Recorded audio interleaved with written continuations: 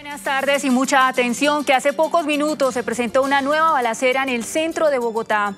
Dos hombres que se movilizaban en una motocicleta dispararon contra una camioneta en la que viajaban cuatro personas que al parecer serían comerciantes. Nicolás González se encuentra en el lugar. Nicolás, ¿qué detalles tiene? Adelante.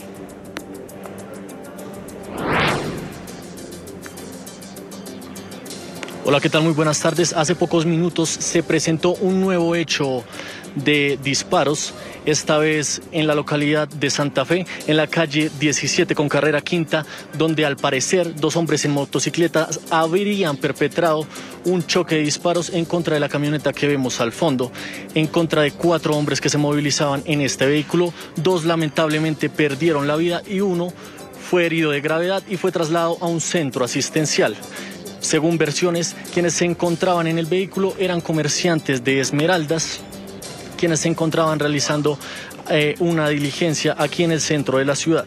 Por el momento, todo es materia de investigación. Lo que hemos podido conocer es que las autoridades aún se encuentran recogiendo pistas y testimonios de quienes pudieron presenciar el hecho. Al, al, respecto también se pronunció la alcaldesa Claudia López, indicando que seguirá trabajando por la seguridad de los bogotanos.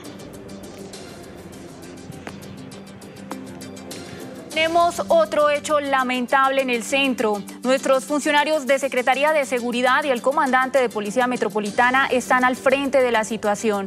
Vamos a seguir enfrentando la delincuencia y trabajando en seguridad.